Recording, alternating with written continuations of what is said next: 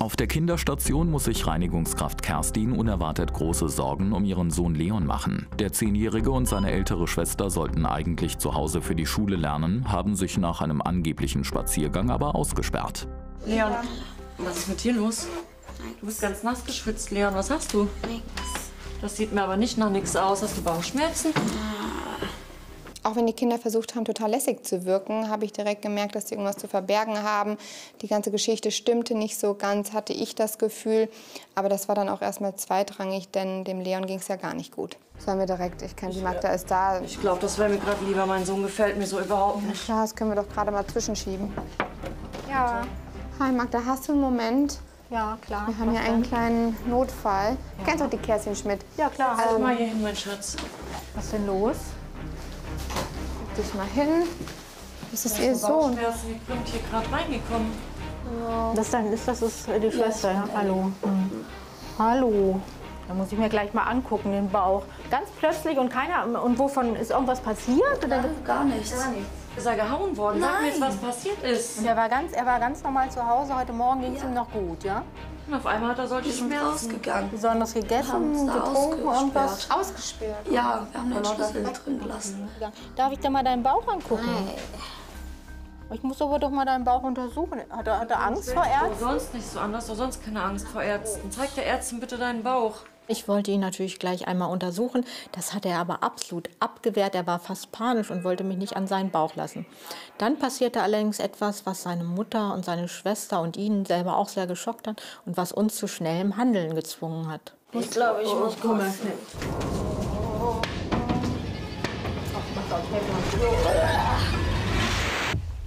ist ja Blut. Das ist ein blutige, blutiges Erbrechen. Oh. Bluterbrechen gilt so als Leitsymptom von Blutungen im, Gastrointest im oberen Gastrointestinaltrakt, das heißt also in der Speiseröhre, im Magen. Das heißt, es ist immer höchste Eisenbahn geboten und wir mussten sofort handeln. Komm her, ich muss mal deinen Bauch jetzt angucken. Du musst mir wirklich mal deinen Bauch zeigen. Ich kann dir sonst gar nicht helfen, wenn ich deinen Bauch nicht untersuchen kann. Oh, hier hat er ja einen großen, großen Bluterguss. Hier ist ja ein Hämatom. Hm? Das tut aber bestimmt sehr weh. Ne? Ja. Komm, pass mal auf. Ich fühle mal ganz vorsichtig deinen Bauch. Oh, der hat, hat auch eine Abwehrspannung. Also da ist, das ist ein akuter Bauch. Ne? Als ich das Hämatom das erste Mal gesehen habe, habe ich erst gedacht, naja, vielleicht ist es auch irgendwie äh, eine Kinderprügelei gewesen mit den Nachbarsjungs, mal einer zu fest gehauen. Aber das war so groß, dass ich eigentlich wusste, da muss mehr dahinter stecken. Ich mache jetzt mal, mal einen Ultraschall von deinem Bauch. Das tut nicht weh. Ich mache es ganz, ganz vorsichtig, ja? Ich versuche nicht so doll zu drücken, aber wir müssen einmal gucken, was mit deinem Bauch los ist. Sag mal, aber irgendwas muss doch da passiert sein. Man hat doch nicht von alleine so einen dicken blauen Fleck auf dem Bauch. Da irgendjemand vielleicht gehauen oder geboxt?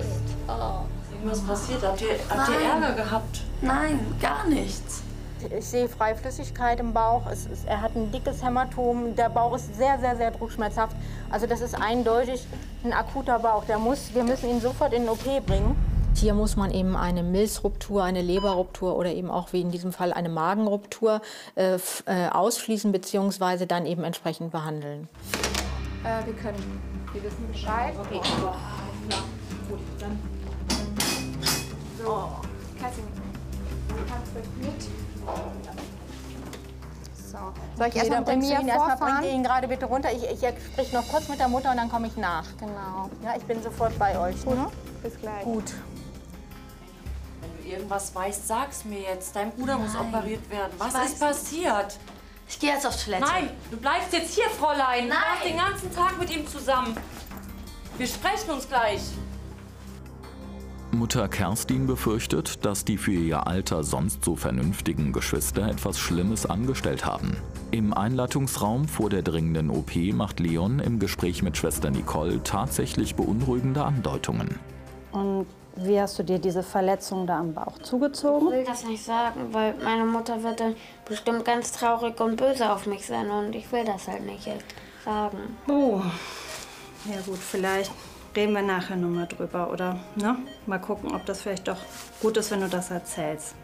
Aber jetzt reden wir weiter über deine OP und da kommt jetzt die Spritze und dann kannst du dir einen Traum aussuchen. Hast du dir schon einen ausgesucht? Eishockey. Mit Eishockey? Willst du das gerne mal spielen? Okay, dann musst du dir das gleich aussuchen. Während der Notoperation herrscht banges Warten bei Mama Kerstin, die bezüglich Leons Geheimnisses weiter im Dunkeln tappt. Schwester Luisa will ihrer Kollegin unbedingt helfen und erfährt dabei von einem schwelenden Konflikt in der Familie. Luisa, hast du irgendwas von Leon aus dem OP gehört? Leider noch gar nicht. Es kann doch nicht sein, dass das so lange dauert. Ich will wissen, was da los ist. Ach Mann. Ich habe so Angst. Ja, das glaube ich. Pass auf, willst du gerade mitkommen? Ich habe eh gerade noch ein paar Minuten Freiraum. Selbstverständlich ist es was ganz anderes für uns, wenn Kollegen oder Freunde hier sind oder eben die Kinder betroffen sind. Und so ging mir das auch bei der Kerstin, denn ich kenne sie schon lange. Und sie war so aufgewühlt und besorgt. Deshalb habe ich kurz Pause mit ihr gemacht. Und noch beunruhigender wurde es, als dann plötzlich ihr Handy geklingelt hat. Kann ich irgendwas tun? Ja, jetzt habe ich dich gar nicht gefragt, ob du was trinken willst. Alles gut, Mom. Leon? Nein, das muss sein. Das muss. Moment. Hallo? Wer sind Sie? Gefunden? Okay. Wo haben Sie das gefunden? Okay.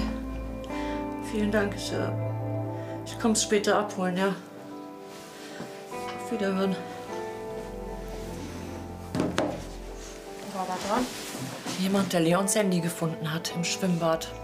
Du sagst mir jetzt bitte, was los war. Sag mir bitte, dass ihr nicht im Schwimmbad wart. Doch, wir waren im Schwimmer, aber. Wieso? Warum denn nicht? Du verbietest uns doch alles. Ihr könnt doch nicht einfach heimlich ins Schwimmbad gehen. Als es dann hieß, dass sie beide im Schwimmbad waren, da ist die Kerstin ja total durchgedreht, total aufgelöst gewesen. Ich musste sogar helfen und eine Hyperventilationsmaske holen. Da habe ich mich gefragt, das ist doch nicht so ganz normal. Ich meine, Kinder gehen ins Schwimmbad, die beiden können schwimmen. Wieso ist man dadurch so aus der Bahn geworfen? Dürfen Sie wirklich nie ins Schwimmbad? Nein, weil ich einfach zu große Angst habe, dass was passiert.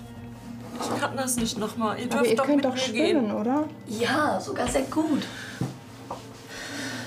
Hör mal, Schatz. Bevor es Leon und dich gab, hatte ich schon mal eine Tochter. Das ist 13 Jahre her. Die hat, ähm, die hat mit drei Jahren hat sie einen Unfall gehabt und ist im Planschbecken oder im, Pool von einer Nachbarin ertrunken. Warum hast du mir das nie erzählt? Ich, ich konnte es einfach nicht. Ich kann da bis heute nicht drüber reden, Schatz, aber deshalb bin ich so streng zu euch. Deshalb habe ich so viel Angst. Und dass jetzt, dass sich Leon verletzt hat und in Lebensgefahr ist und das schon wieder im Schwimmbad passiert ist, das holt mir gerade alles hoch. Das kann ich verstehen.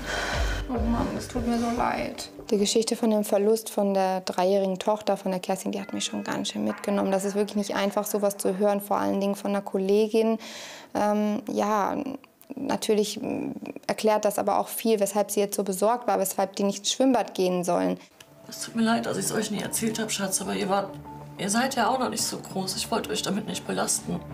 Doch nun macht sich Mama Kerstin Vorwürfe, weil Leon wohl wegen ihrer traumatischen Sorge seine lebensgefährliche Verletzung verheimlichte. Was dem Zehnjährigen im Schwimmbad zugestoßen ist und ob seine OP erfolgreich war, zeigt sich hoffentlich bei der Visite. Oi, hier sieht das ja super aus bei dir. Schön. Alle hier. Wir haben alle auf. Station gesammelt und haben dann ein bisschen das Zimmer geschmückt. Ich hoffe, es ist nicht zu viel. Das sieht ja super aus hier. Und ich habe auch eine gute Nachricht. Also die Operation ist, ist gut verlaufen. Er hatte einen Magenriss. Ähm, der konnte aber gut vernäht werden und wir haben den Bauch dann auch gespült und das ist also alles, alles sehr gut verlaufen. Und das, das muss aber durch eine Gewalteinwirkung, durch, durch ein, ein stumpfes Bauchtrauma irgendwie muss das passiert sein. Wir hatten ja nun die Operation erfolgreich abgeschlossen und Leon ging es auch schon wieder gut. Allerdings war es noch völlig unklar, was überhaupt die Ursache für diese Magenruptur war. Das kommt nicht von alleine sowas. Also es ist auch sehr selten. Im Normalfall mei- meist ist die Leber und die Milz betroffen. In seinem Fall war es jetzt der Magen. Aber da muss irgendwas gewesen sein. Magst du mir das denn jetzt vielleicht mal erzählen, wie es dazu gekommen ist? Na los, Mama schimpf weiß, was los ist. Aber nicht sauer sein. Nein, versprochen, ich schimpf nicht. Ich will einfach nur wissen, was los war. Im Schwimmbad ähm, bin ich vom 10-Meter-Turm gesprungen, Ach du weil ähm, die Jungen, meine Freunde da, haben gesagt, ähm, wenn ich mich nicht traue, bin ich ein Angsthase und ein Müttersöhnchen, weil ich ja auch nie alleine dahin darf. Und dann bin ich gesprungen und habe einen Bauchklatscher gemacht. Oh, Schatz, das tut mir so leid. Oh je, das hat aber bestimmt wehgetan, ne? Der Bauchklatscher aus 10 Meter Höhe, ja, das ist natürlich wirklich, also das passt, passt eindeutig zusammen. Ne? Mensch, da hast du aber Glück gehabt. Das hätte ganz anders ausgehen können. Da hast du wirklich ganz, ganz großes Glück im Unglück gehabt. Das ist, glaube ich, ein bisschen meine Schuld. Ja, meinen Sie? Ja, gut. Das, ich glaube, ich war einfach zu streng mit euch, ihr zwei. Und ich, auch wenn es mir schwerfällt, ich habe halt Angst um euch, weil ich euch so lieb habe. Aber ich verspreche euch, ich werde in Zukunft nicht mehr so streng sein und euch mehr vertrauen. Weil natürlich will ich auch nicht, dass ihr mich dann anlügt weil ich, weil ich euch irgendwas nicht erlaube. Sicherlich ist es für Eltern immer sehr, sehr schwer, ihre Kinder ähm, alleine zu lassen und sie eben ja, draußen spielen zu lassen oder alleine ins Schwimmbad gehen zu lassen, alleine in den Straßenverkehr gehen zu lassen, weil man natürlich immer Sorge hat. Ich habe selber vier Kinder und weiß, wie schwer das ist. Aber letztendlich ist es nicht sinnvoll, die Kinder zu sehr äh, einzuengen. Und hier muss man einfach den goldenen Mittelweg finden. Und jetzt sind wir erstmal alle ganz froh, dass die Operation so gut verlaufen ist und du hast so ein tolles Zimmer, bleibst noch ein bisschen bei uns. Ja, ich komme dann später noch mal nach dir gucken, aber erstmal fürs Erste sind wir sehr zufrieden. Ne? Leon ist dank der Notoperation vollständig genesen. Mama Kerstin hat den tragischen Tod ihrer ersten Tochter mit therapeutischer Hilfe aufgearbeitet und dabei gelernt, ihren Kindern unbesorgt mehr Freiraum zu geben.